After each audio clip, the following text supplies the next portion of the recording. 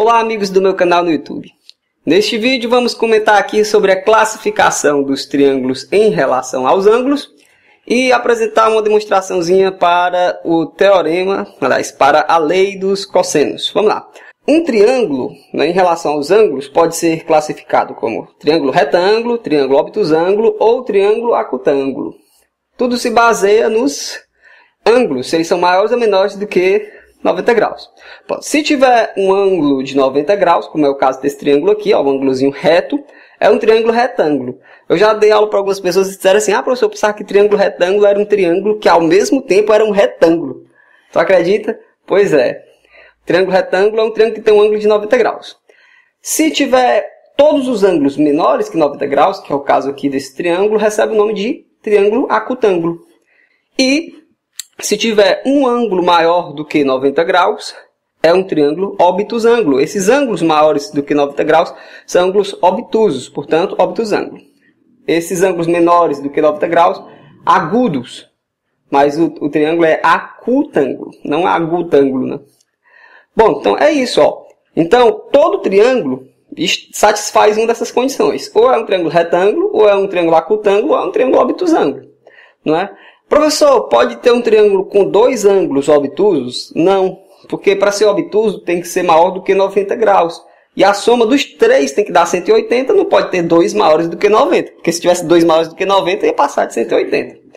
Então, comentando isso aqui, vamos agora para a demonstração aí da lei dos cossenos. Lei dos cossenos. A lei dos cossenos relaciona um lado com os outros dois e o ângulo formado entre eles. Vamos lá. Ó. A, a rigor, a gente deveria mostrar para todo tipo de triângulo. Para triângulo retângulo, para triângulo acutângulo e para triângulo obtusângulo. Mas eu vou fazer aqui só o caso do triângulo acutângulo. O caso do triângulo obtusângulo fica de exercício para vocês. Então nós temos aqui um triângulo acutângulo, tá certo? Nós traçamos aqui a altura em relação ao lado C e vamos mostrar aqui uma relação entre o lado A, o B, o C e o ângulo formado aqui pelos lados B e C. Então vamos começar. Olhando para a figura, a gente percebe que o cosseno, né, lei dos cossenos, do ângulo aqui formado entre os lados B e C é o que? Cosseno, cateto adjacente sobre hipotenusa. Então, M sobre B. Pelo teorema de Pitágoras, nesse triângulozinho aqui, ó, você vê que A ao quadrado é H ao quadrado mais C menos M ao quadrado. Eu chamei esse pedacinho de M, como o todo é C, aqui é C menos M. Então, C menos M ao quadrado. E o B ao quadrado é o h ao quadrado mais o m ao quadrado, porque aqui também é um triângulo retângulo. Beleza. Dessa relação aqui, a gente percebe que a gente pode isolar o m. O m é b vezes o cosseno de alfa. Nessa daqui, desenvolvendo, a gente encontra isso. Ó, o quadrado do primeiro, menos duas vezes o primeiro pelo segundo, mais o quadrado do segundo. E nessa terceira, a gente pode isolar a altura. Né? A altura ao quadrado, aliás. É b ao quadrado menos m ao quadrado. Então, pega essa relação aqui, ó, copiei ela de novo aqui em cima. Eu posso trocar o h ao quadrado por b ao quadrado menos m ao quadrado. E onde for m, eu posso trocar por b cosseno alfa. Aí fica assim, ó. Eu troquei o h ao quadrado por b ao quadrado menos m ao quadrado.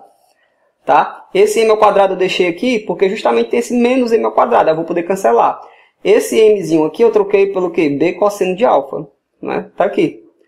Então, simplificando as coisas, nós temos a relação prometida entre o lado A, os lados B e C e o cosseno do ângulo formado por eles dois. Ó. O, B, o lado B e o lado C formam um ângulo alfa. E o cosseno de alfa aparece aqui na nossa relação. Veja que ela é muito parecida com o teorema de Pitágoras. Ó. Um lado ao quadrado é igual à soma dos outros dois ao quadrado.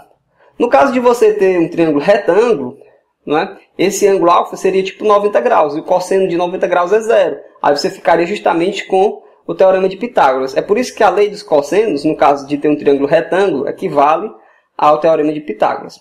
Eu fiz isso aqui em relação aos lados A, B, C e o ângulo entre B e C.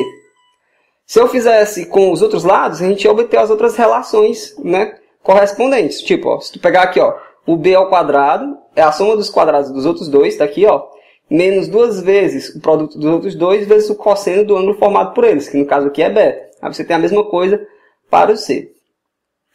Bom, se você gostou desse vídeo, por favor, clique em gostei, adicione aos favoritos, compartilhe nas suas redes sociais. O resultado disso é que eu vou, tá, vou ter mais motivação para fazer outros vídeos. A gente fica por aqui, um abraço e até a próxima. Tchau!